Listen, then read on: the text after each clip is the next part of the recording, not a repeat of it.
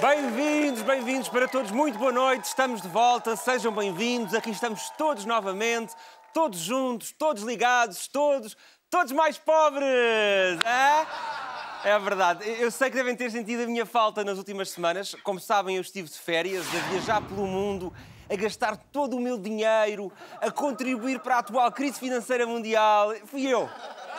Sim, eu assumo a minha culpa, foi gastar à fartazana. É verdade. Sim, senhor, eu assumo. Então, mas. Oi? Bom, entretanto, eu voltei de férias e descobri que o mundo financeiro está novamente em crise.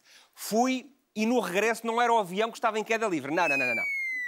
Eram mesmo os mercados. Os mercados é que eram. Estavam. Aliás, eu sinto-me como se fosse assim, uma espécie de vilão daqueles filmes de super-heróis que regressa à cidade depois de uma longa ausência no planeta, no planeta Krypton atenção à escolha do nome do planeta, Krypton, dizia eu, que regressa à cidade e que encontra tudo em ruínas.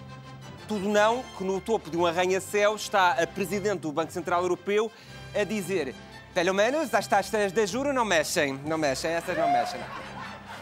Bom, aliás, falando a sério, eu só posso prometer trabalhar no duro para encontrar soluções para esta crise. Aliás, comecei mesmo hoje. Estou agora a vender todas as minhas coisas no eBay, tudo para juntar o dinheiro suficiente para ajudar a economia global. Eu garanto-vos, se por algum motivo o produto não for, digamos assim, suficientemente convincente para a venda, então eu posso sempre abrir um banco. Diz que para isso é só preciso dívidas e essas, meus caros, eu tenho. E não são poucas, infelizmente. Não vejam a minha conta hoje. Não, não está boa. Na última semana, uh, recebemos a notícia da falência do Silicon Valley Bank. Afinal, as empresas tecnológicas não eram tão boas como se calculava. Parece até que nenhuma conseguiu inventar um unicórnio tão bom que evitasse ter de pagar dívidas. Não aconteceu. Mas, bom, deixando os unicórnios de lado e continuando a falar de dinheiro, não sei se já repararam como os preços das coisas estão sempre a aumentar, sempre a subir. Eu, cada vez que saio de casa, olhem, por exemplo, para comprar pão. Ainda hoje fui. Saí de casa de manhã, fui para o carro, conduzi até à padaria, cheguei lá e disse, se calhar devia ter feito um empréstimo primeiro. Não, não dá. Não dá. Mas isto sou eu. Eu, porque enquanto isso, as grandes empresas, essas, nadam em dinheiro como o tio Patinhas. Estão ali, a Galp... Uh! Aliás, têm mesmo mais dinheiro do que aquele que sabem gastar. É o caso da EDP. Aumentou os lucros em 6%. Já a Galp duplicou também os lucros. Eu acho que podiam até investir num daqueles cursos de autoajuda como não ser ganancioso em plena crise para totós. Eu acho que podiam investir, investir nisso. Bom, eu percebo que as grandes empresas tenham de ter lucros elevados, afinal, como é que elas iam pagar os salários dos gestores sem esses lucros, mas alguns, não todos, acabam por ganhar mais do que eu ganho em cinco vidas. O que me leva, por isso, a perguntar, afinal, o que é que farão com todo esse dinheiro? Será que o vão usar para contribuir, por exemplo, para as reservas estratégicas de papel higiênico? Era um bom exemplo, não sei.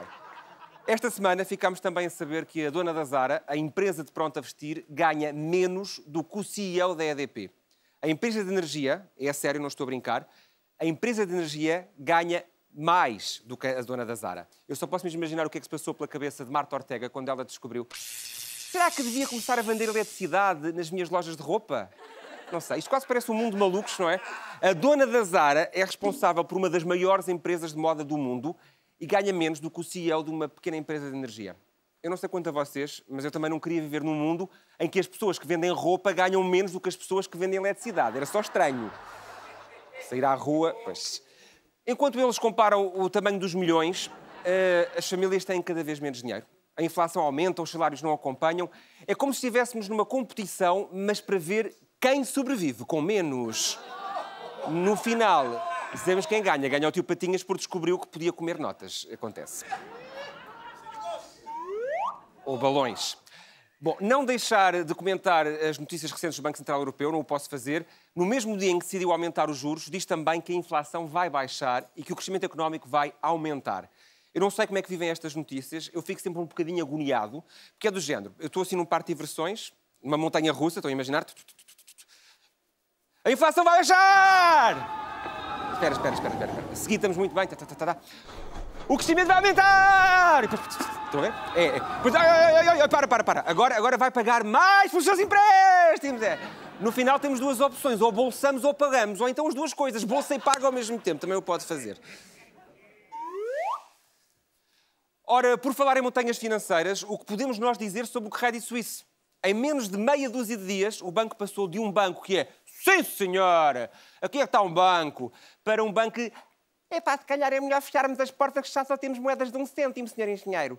No dia a seguir, são um banco, sim senhor, tudo à grande. Que agora temos outro nome, mas as mesmas moedas de um cêntimo, senhor engenheiro. É assim. Esta notícia até me faz acreditar que a Suíça decidiu entrar no campeonato dos países com mais mudanças drásticas nas instituições financeiras em menos tempo. O prémio final é a bancarrota.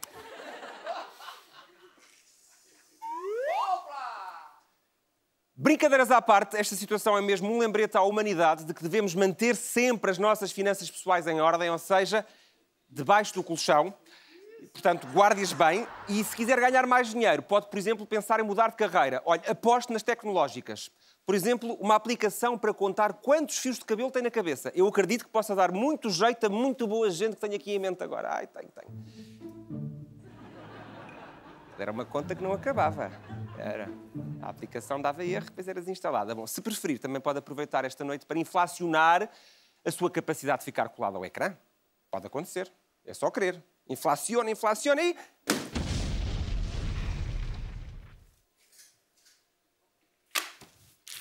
Aliás. Nem precisa de sair de casa para comprar pipocas, que isto aqui é da grande. Os nossos convidados também estão a saltitar para a sua companhia. É agora, é o regresso mais aguardado do ano, é o seu depósito de confiança, é o seu seguro do melhor entretenimento. Vai começar o Conversas ao Sul!